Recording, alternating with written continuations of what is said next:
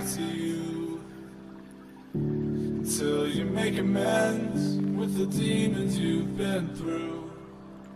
And I can't regret leaving you alone